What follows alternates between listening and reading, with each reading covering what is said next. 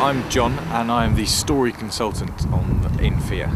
I sit and discuss with Jeremy, the director, and we try and work out what the best structure is, the best timing, is it all working?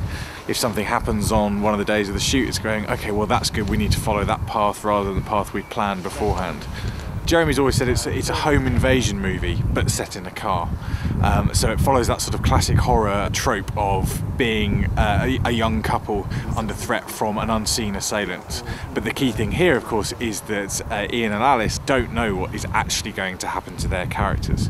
They just have to trust uh, Jeremy uh, that he won't kill them actually during the process of making the film. Lovely couple. Um, the man right here. yeah man of mystery. What do you think the ending's going to be? You know, this is just going to sound like I'm covering all the bases, which I am. Yeah. I think I'm either going to die or not die. Yeah. Are you coming tonight, no? No, I'm not coming tonight. Oh, you mean he's booked a hotel tonight? Yeah. Wow. I think Iain said the other day that is is Alice just a figment of his imagination, or that he's already killed her, uh, and this is some sort of flashback.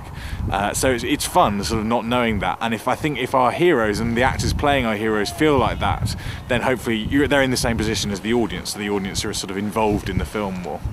I would like if it was just like I feel it's kind of like a rom com just now, so it just stays a rom com. and Just live happily ever after.